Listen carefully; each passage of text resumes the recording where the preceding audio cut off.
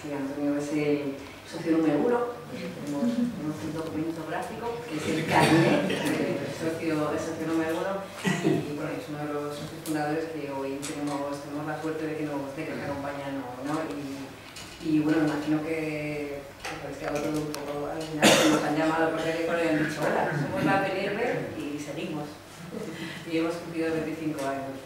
Pues sí, fue una sorpresa fantástica. Yo me encuentro agradecidísimo de que Monserrat y todo su equipo, toda la junta directiva, toda la plataforma y bueno, la Comunidad de Madrid, porque habéis organizado esto, pues nos juntéis un poco aquí a pues una parte reciente un poco de la historia de, los nuevos realizadores y del cortometraje en España, porque de alguna manera pues, siempre ha habido un vínculo claro entre esta asociación y el, y el mundo del corto. ¿no?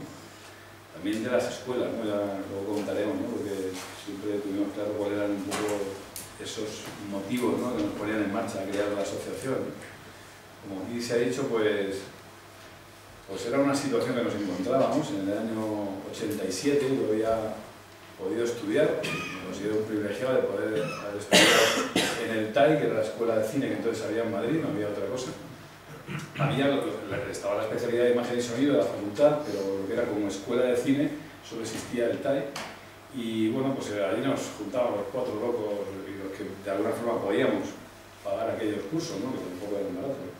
Y, y bueno, pues esa pregunta que le vas haciendo cuando avanzas sería hacer el primer curso y dices, bueno, y luego antes, cuando terminemos, ¿qué? ¿no? ¿Qué va a quedar todo esto? Porque es verdad que en ese momento no estaba nada apoyado el cortometraje institucionalmente, no había una escuela oficial de cine, ni tampoco eh, había una obligación de poner meritoriajes en las películas que sí entonces eran subvencionadas, un de ellas al año, y entonces esos tres puntos fueron lo que un poco decidimos eh, aglutinar en un documento, que además aquí Juan Vicente ha traído, no sé si es el original, pero una de las copias, y me, acabo de reencontrar hace un rato, mucha ilusión, y ese documento, ese manifiesto, gracias Juan, eh, pues fue un poco lo que dio origen ¿no? a la asociación, y también la ganas de reunirnos, de hablar del cine, en torno a un local ya desaparecido en Madrid, que por lo que ahí empezamos, recordamos que era el Café León, era un café mítico, esto es así, eh, de tertulia y tal, que estaba en, en, la calle Alcalá, justo antes de la puerta de Alcalá, subiendo a la mano izquierda, no sé si hay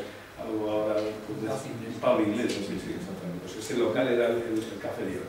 Y tenía en una de las salas, al final, un sótano, y una sala ahí que los sábados por la tarde estaba bastante tranquilita, donde nos permitían, consumiendo muy poco, pues pasarnos allí horas y horas. Y ahí nadie nos molestaba ni tampoco molestábamos a nadie.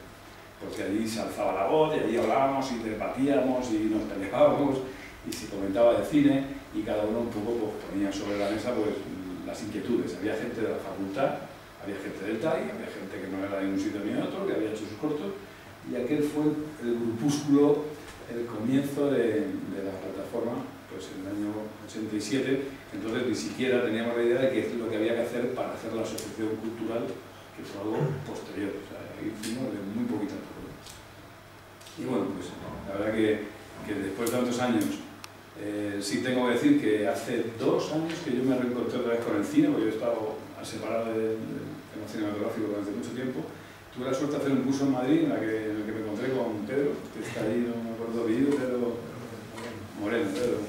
Y Pedro fue el que me dijo que existía todavía la plataforma y, y a mí me alegró porque yo estaba, estaba desaparecida y me dio una gran alegría, me dio su tarjeta de la plataforma que la guardo con muchísima ilusión y, y bueno, sabía que, pero me parece y me da la sensación de que no solamente existe, sino que además está en manos de gente que tiene ganas de hacer muchas cosas y de seguir peleando como empezamos y, y yo doy la enhorabuena.